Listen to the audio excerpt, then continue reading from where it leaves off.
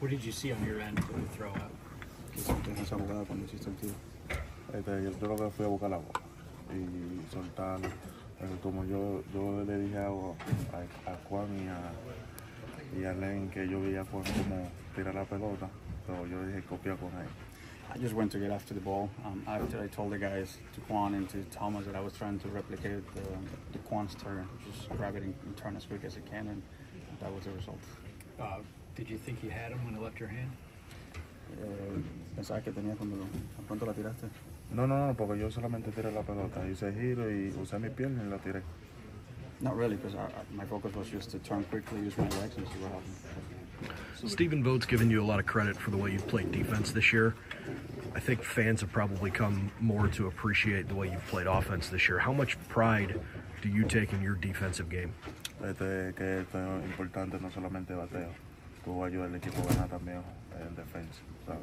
Eh, un, un mistake que tú hagas en la defensa puede cambiar el juego. I take a lot of pride in my defense as well. I mean, I think defense also wins your games. So, on the other hand, if you miss a play in defense, that can cost you a game. So, I take a lot of pride in my defense as well.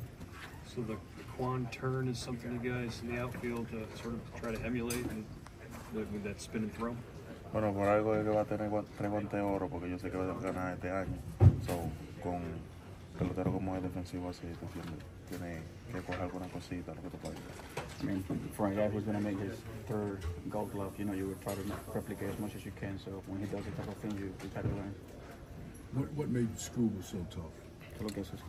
En realidad es buen pitcher, ¿sabes?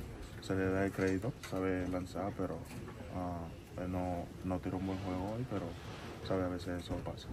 I mean, you got to give him credit. He's a good pitcher. He executes his pitches, and sometimes that happens. So you cannot execute your pitches as well. What do you think of Kwan's catch? Es increíble, increíble. Y como vuelvo y repito, el mejor left field que tenemos en la liga. It's incredible. Just like I mentioned, he's the best left field in, in the whole league. So. How do you leave this one behind you as you just you have to look forward to game three? Este, ¿qué te digo? Eso solamente que nosotros tenemos seguir y seguir jugando.